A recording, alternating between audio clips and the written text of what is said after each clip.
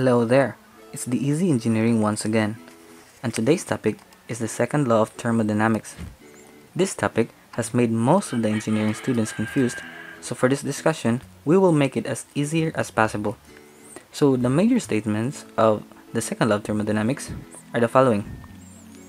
First is a Clausius statement that says it is impossible for any statement to operate in such a way that the sole result would be an energy transfer by heat from a cooler to a hotter body.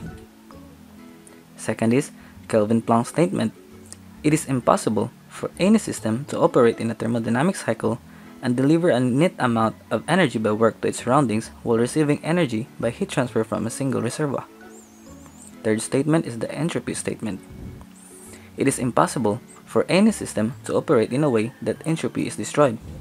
So, to make it easy, we made two easier statements that would help us more in understanding this law. So first is, well let's call this as high to low. For any process, a natural flow will always be from higher energy value to lower energy value. For example, coffee. The temperature of coffee is higher than its cup, and as what it says, from higher energy value. So the temperature of coffee gets transferred to the cup which is cooler, lower energy value, and that's why the cup gets hotter. Or try a compressed gas in a balloon. If you open a small hole in a balloon, does the outside air enters the balloon? No. Instead, the gas in the balloon goes outside transfers its pressure to the outside air because the gas in balloon has higher pressure than the outside air.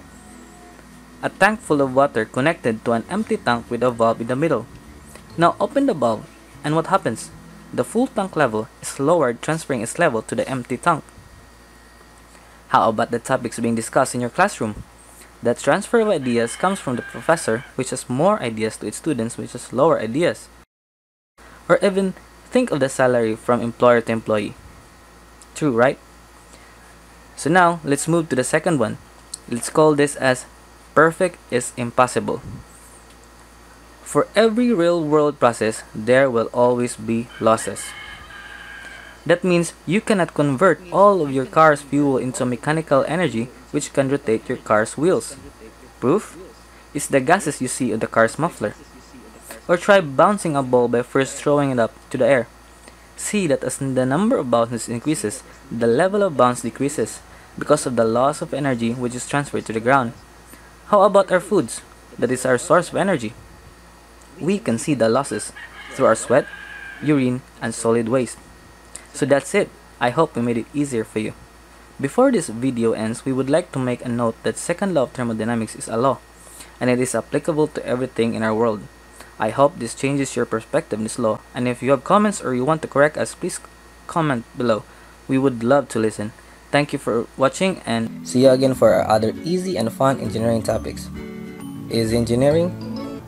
Engineering topics made easy and fun for you.